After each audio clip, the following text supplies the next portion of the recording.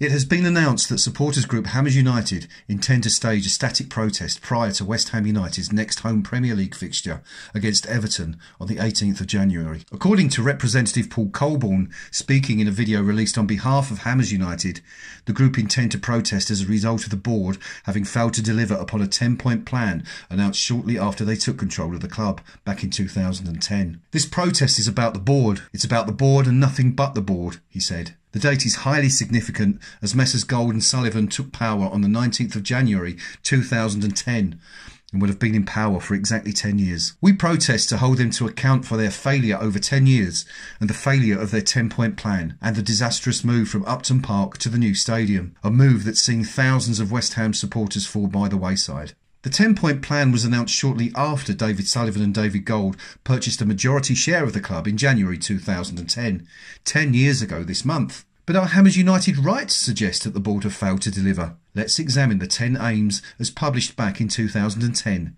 one by one. Point 1. To appoint a new high calibre manager. At the end of the 2009-10 season, the board fired Gianfranco Zola, who had kept West Ham in the Premier League, in favour of Avram Grant, who promptly relegated the club.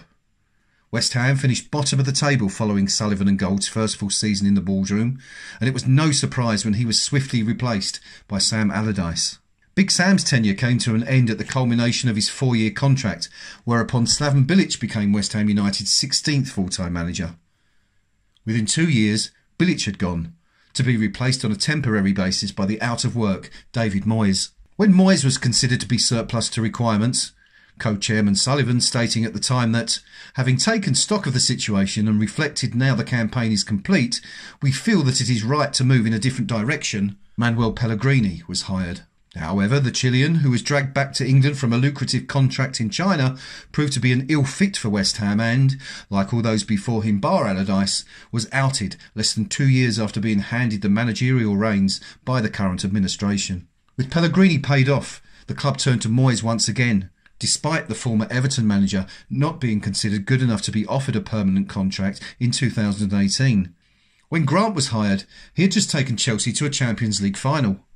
Allardyce was considered by many as a necessary appointment, given the club's perilous situation, having been relegated under the Israeli, whilst Bilic, a former player, had previous management experience at international level with Croatia. Six years before he was hired by West Ham, Pellegrini had won the Premier League title with Manchester City, before being outed by Pep Guardiola. So it could be argued that the managers appointed had indeed been of a high calibre even though it could just as easily be argued that few, if any, had been given the necessary backing by the board in the transfer market or in the media to succeed in their roles, an argument backed up by the short spells each, bar Allardyce, enjoyed. Verdict? Pass. Point two, to sign new players hungry to do well. It could be argued that Sullivan and Gold took this point rather too literally when signing Benny McCarthy during their first year at West Ham, the South African forward being vastly overweight and unfit, both physically and for purpose. A glance back at the players purchased during the last decade shows a shocking disregard for continuity or any semblance of a coherent strategy. There are few who were purchased and later sold for reasonable profit, the most notable of those being Dimitri Payet, the outstanding purchase of the last 10 years, and a player who realised a profit of nearly £20 million. A quick glance at their transfer record highlights a steady stream of mostly unremarkable players. Your Hitzlspergers, Maigas, Nordtveits and Downings, ageing former stars, the Arbeloas, Borriellos and Evras, and those complete punts. Think George John, Wellington Paulista and Jonathan Calleri. Prior to the anti-ball demonstration during the Burnley match in March 2018, only one player, Andre Ayew, had attracted a transfer fee in excess of £20 million, since when the club's transfer record has been broken four times. Of course, the hungry tag is essentially meaningless, so in order to assess whether or not the board can claim to have achieved a successful transfer record while signing ambitious players really needs to be judged on their performance as a whole. More than 170 players have been signed on Sullivan and Gold's watch, yet the only player from the top 10 most expensive signings to have won a Player of the Year award is Marko Arnautovic, whose stay at the club was brief. Additionally, the decision to halt the flow of funding to the club's academy that Sullivan once told KUMB costs in the region of £3.5 million per year to support has minimised the graduation of homegrown players. However, the policy of taking punts on academy stars from other clubs, such as Nathan Holland, Martin Samuelsen, and Declan Rice, has paid off via the capture of the latter alone, who is currently valued anywhere between 50 and 75 million pounds. Verdict fail. Point 3. To further invest in the academy.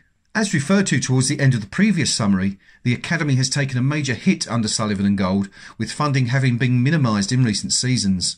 Tony Carr, the former doyen of Academy directors, was shambolically treated when removed from his position after having his contract details splashed across social media by one of Sullivan's sons. The co-chairman later supported his decision to part company with Carr by accusing him of having failed to produce any first-team players since the emergence of James Tomkins, conveniently forgetting the likes of Junior Stanislas, Freddie Sears and others who more than paid for their development in respect of ensuing transfer fees when sold on. Carr, who was partly responsible for the club's golden era of producing young stars such as Joe Cole and Rio Ferdinand in the late 1990s, was succeeded by Terry Westley, who worked with players such as George Moncur and Danny Potts.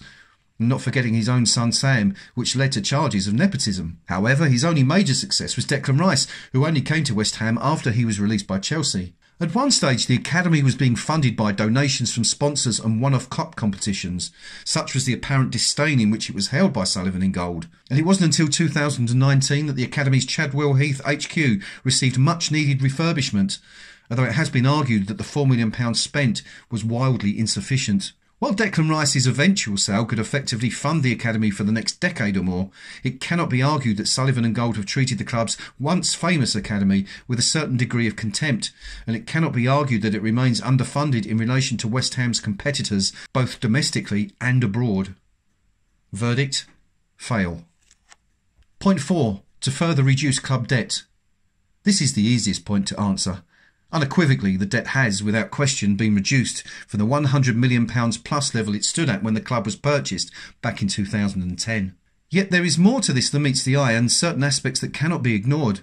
Sullivan and Gold, in moving the club's outstanding debt from the banks to themselves, has absolutely worked in their favour, given their policy to charge 4% interest. That figure used to be 7% until the fans expressed uproar at the policy. Even still, the co chairman charged the club in the region of £16 million in interest payments during the last financial year, for which details are publicly available, according to the club's most recently published accounts.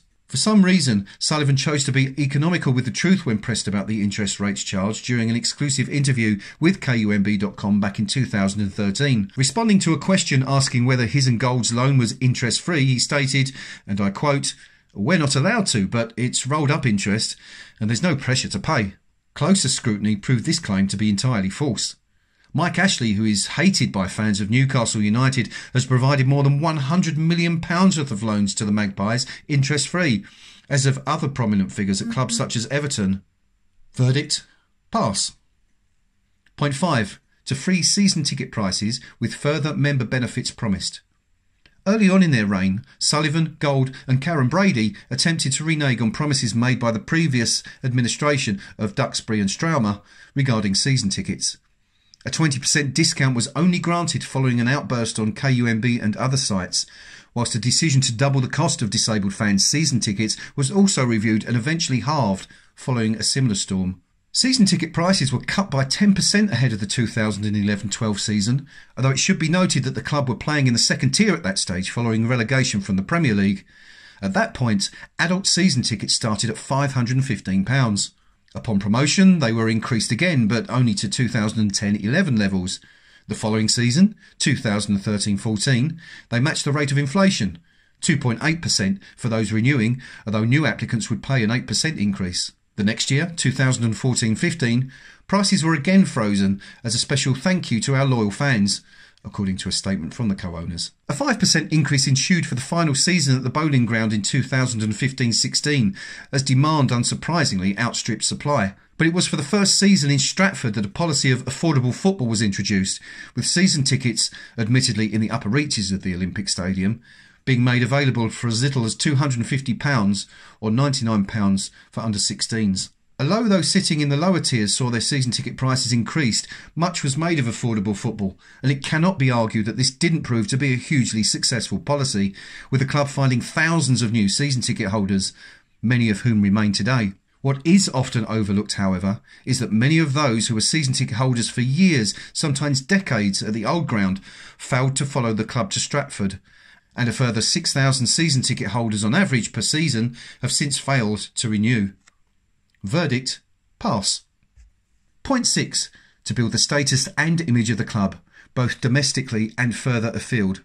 Despite doubling the number of season tickets and footprint of the club stadium, it can be argued the status of the club has barely changed since 2010. In purely football terms, when Sullivan and Gold first purchased their majority share, West Ham United FC lay on the cusp of the relegation zone, pretty much where it is now a decade later, with no significant improvement noted. And more on that later. The rebranding of the club's badge was meant to herald a new era, but only served to cause friction amongst those who held the club's traditions and heritage in great regard. The addition of London to the club crest was pretty much universally panned, and the image of West Ham London is considered to be less potent than West Ham United. You're not West Ham anymore is frequently chanted by supporters of visiting teams. West Ham, in percentage terms in comparison to their competitors, can count on barely any more support in growing football territories such as China, the Far East, and North America. Tours to places such as these have not made any significant impact in the depth of support worldwide, and bursts of growth in places such as Israel and Mexico ended as soon as players such as Eyal Berkovic and Javier Hernandez moved on. Karren Brady, the brains behind West Ham's marketing operation in the last decade, may sit in the House of Lords and be one of the in house business moguls on TV's The Apprentice. But there is little evidence at West Ham to show that she has delivered any great improvement to the club's image during her tenure. Verdict fail. Point 7.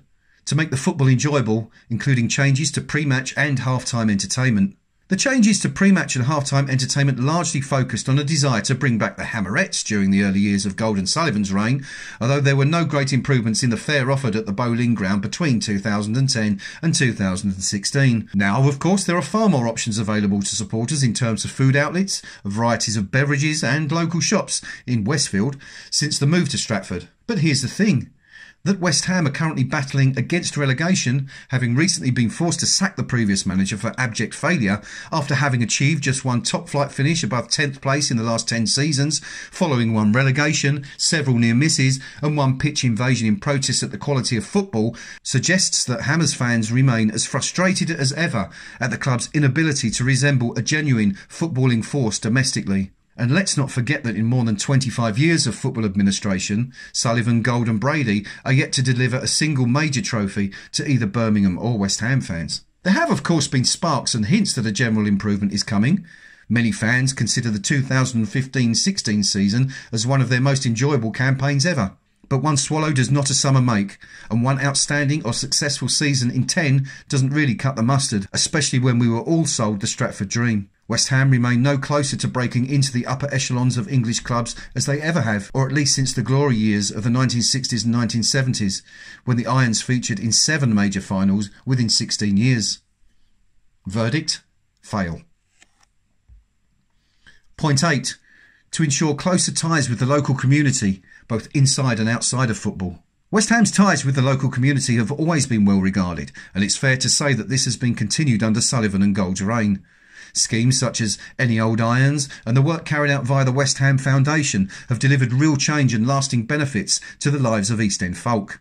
Meanwhile, all first team players are contracted to undergo community work on behalf of the club, although this is standard policy for most professional clubs. That aside, it is heartwarming to read of players visiting local hospices and care homes and supporting local causes and charities. David Sullivan, too, has also donated considerable sums to charity appeals and really seeks recognition for this. David Gold regularly opens his home to the public in order to raise funds for charitable concerns. However, the club have also been accused of forgetting supporters, many of whom still reside in the local community, that failed to renew their season tickets in the years since leaving Upton Park. Hammers United estimate that up to 20,000 long standing fans have fallen by the wayside. Verdict Pass. Point 9. To build towards a move to the Olympic Stadium.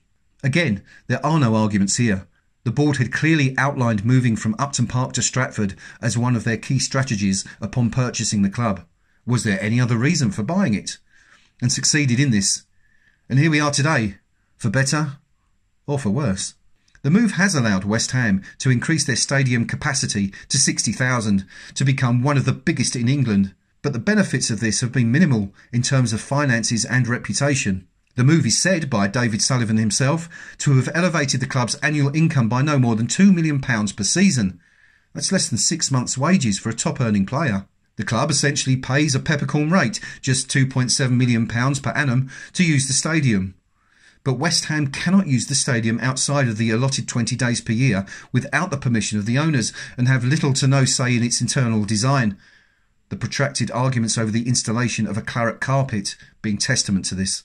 West Ham's image also suffered hugely following the stadium move, with the club being labelled Taxpayers FC by some, as the OS operates at huge cost to the public purse. United's contribution barely scratches the surface and the ground is hated by many fans who dislike the design intensely and the enormous distance between the stands and the pitch. David Gold's pre-Stratford insistence that he would not entertain a move unless the stands were as close to the pitch as was the case at the Boleyn ground is regularly used as a stick with which to beat him. And Karren Brady's ambition of a world-class team playing in a world-class stadium looks every bit the false carrot dangled over the noses of supporters that it probably was. The vast space between pitch and stands, which is partly covered by carpet, has served to destroy any hope of generating an effective atmosphere inside the stadium, which, given the close proximity of the stands to the pitch at the Boleyn ground, has only been intensified. Visiting fans, shunted behind the goal and up in the gods, routinely pan the stadium's layout, then complain about the journey from stadium to station, which is frequently interrupted by stewards with stop signs. However, the stadium is not without its positive aspects. International visitors can travel to Stratford directly from main European cities. Westfield is a nice diversion, even though its presence appears to have prevented any more home games being staged on Boxing Day, and the stadium is aesthetically pleasing, cleaner, and offers more in terms of variety as far as consumables are concerned. And many fans prefer the stadium and Olympic Park to the Boleyn ground and Green Street. That said, the club has a long way to go yet in order to convince the entire fan base that the move has had a positive effect on the club. Verdict fail. Point 10 Listen to the supporters. The final point, almost certainly the biggest failing of all, and the main reason why the board now find themselves at odds with much of the fan base and preparing to face a protest. In order to satisfy Premier League requirements, Karren Brady launched the Supporters Advisory Board, the SAB, prior to the move to Stratford, a group in which supporters were invited to represent their fellow fans. However, it soon became clear that this was little more than a box ticking exercise. Insisting that attendees left their mobile phones and any other potential recording devices at the door, and forcing group members to sign non disclosure agreements in order to avoid being denied entry, made a mockery of what was initially marketed as an open platform on which the club could liaise with its own fans. When the SAB folded in the wake of heavy criticism, the club turned to independent content creators to provide fans feedback. KUMB were present for all of these meetings, as were other prominent groups and media organisations. However, this kind of representation ended following meetings in February 2018, in which the club negotiated the cancellation of a planned protest, which was to be led by the now defunct Real West Ham Fans Action Group. Numerous promises, or pledges, were made. Few have been fulfilled. In 2018, a replacement for the SAB, the official supporters board, the OSB, was announced. Yet, like the SAB, this was similarly derided and charged with being undemocratic, with the members elected by a cabal of the board's close confidants. Further, the club refused to deal with any of the club's independent content providers, a complete 180 degree turn from their previous stance. In 2017, the editor of KUMB.com, the only independent West Ham based media organisation that employs full time staff, was banned from attending media events at the club, having previously enjoyed access since 2004. The reason given for this by media officer Ben Campbell was that KUMB were responsible for publishing unnecessarily negative content. We called it the truth. The club also cancelled a long standing advertising contract with Knees Up Mother Brown, another consequence of the website failing to toe the company line and failed attempt to limit KUMB's influence in West Ham circles. In the last 12 months, despite repeated attempts to gain an audience with the board, Hammers United have been told the only way this could happen is if they accept an offer to join the OSB. However, the OSB has proved to be a toothless organisation whose only notable achievement since its inauguration has been to delay the season ticket renewal date by two weeks. Verdict? Fail. So, in summary, it is fair to say that the board have succeeded on some levels Yet it is equally viable to suggest that they have failed in a number of key areas and may be responsible for what amounts to serious corporate mismanagement. This has led us to a position whereby a sizable group of supporters, several thousand strong and under the Hammers United banner, feel it is an appropriate time to stage a visible protest against their stewardship of West Ham United FC and the perceived lack of progress both on and off the pitch.